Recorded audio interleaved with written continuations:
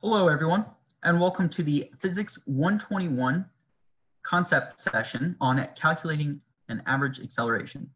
My name is Nathan Martin, and I work for the tutoring centers at ASU. So, in this problem, we're given at t is equal to one second, a car is moving at three meters per second.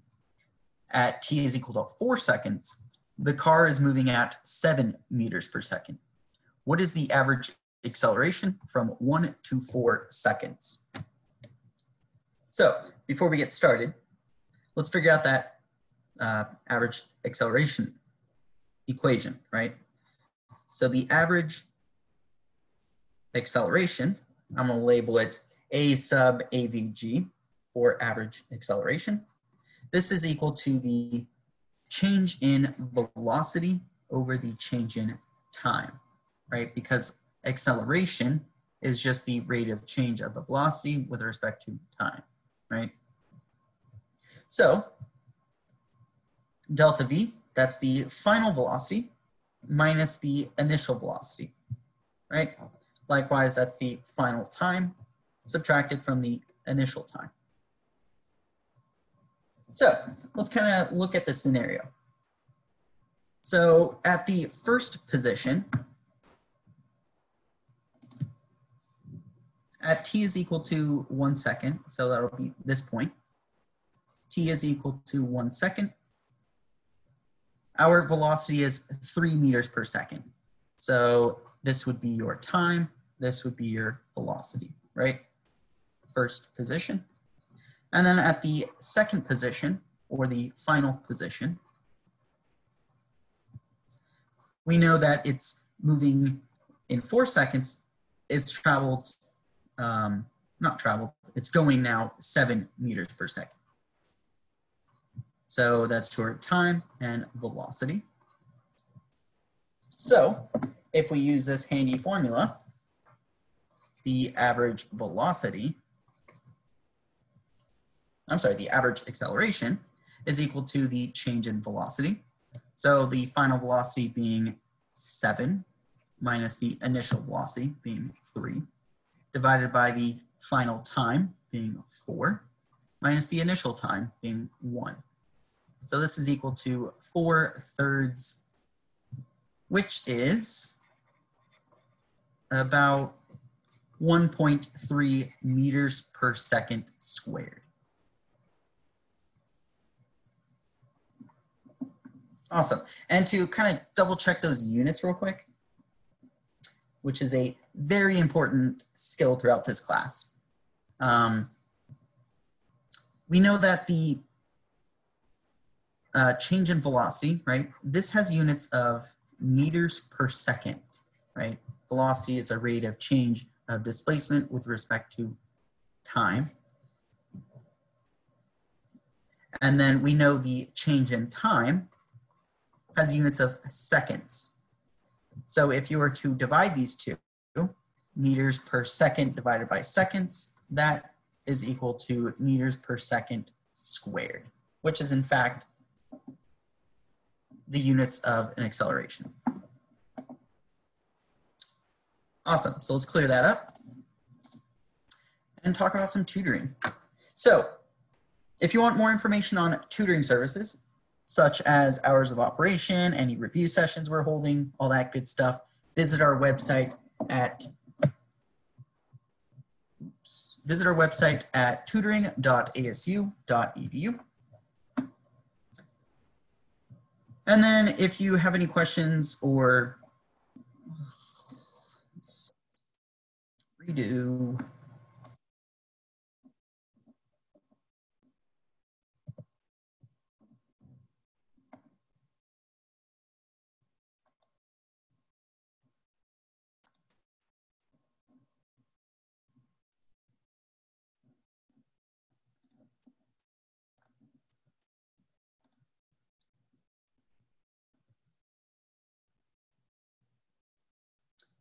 Hello, everyone, and welcome to the Physics 121 concept session on calculating an average acceleration.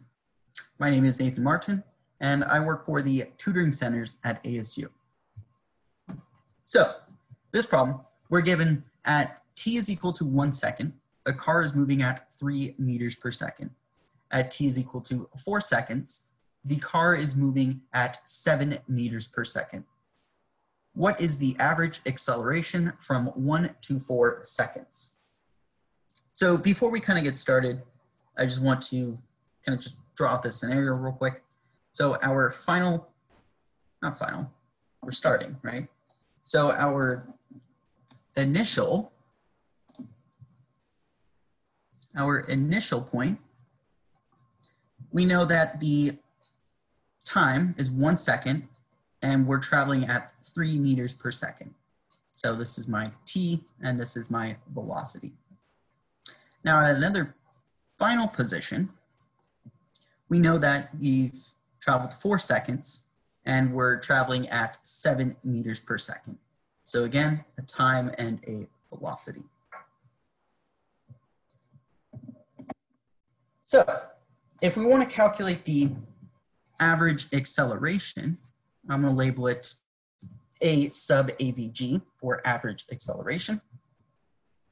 This is just equal to the change in velocity over the change in time. Right, acceleration, all it is, is just your rate of change of your velocity with respect to time. In other words, dv over dt. Now the change in velocity, that is just defined as the final velocity minus the initial velocity over delta t, which is your final time, subtracted from your, not t, from your initial time. Right?